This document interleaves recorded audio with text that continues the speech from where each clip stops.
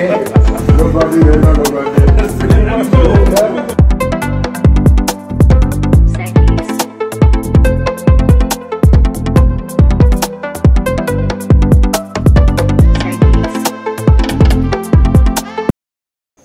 gars ñoo ko gisandoo ñoo ko seetaanandoo donc dama bëgg ngeen wax ma lan ngeen xalaat ci vidéo bi en commentaire ci commentaire yi wax leen ma lan ngeen xalaat ci vidéo bi ayca ñu def noonu